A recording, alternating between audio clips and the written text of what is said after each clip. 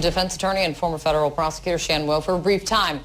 Shan re represented Manafort's former deputy and who was a star witness in this case, in this trial, Rick Gates. Um, Shan, uh, I'm getting word that the Manafort trial is now going to be resuming.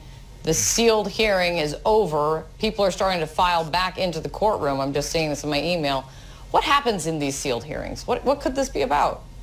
Uh, typically, the judge is going to clear the courtroom when they need to have more extensive arguments about an issue that really aren't practical to do standing at the bench. And that's probably what this was about. So it's going to be something that was substantive. Otherwise, they could just take care of it with a brief conference on the bench, putting on that machine that hushes what they're talking about. So it, I mean, we're speculating as to what it was, yeah. but I mean, it's probably a, a substantive legal argument.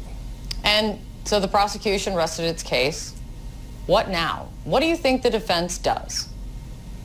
Uh, I think it's pretty likely, um, if I was going to predict, that the defense is not going to put on any more testimony, that they're going to simply move right to their closing argument.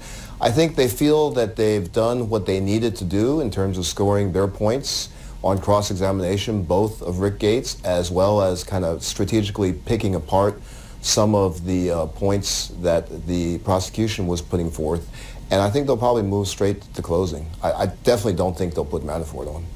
Well, still, Shan, stay tuned to stay tuned. Thank you so much. I appreciate it.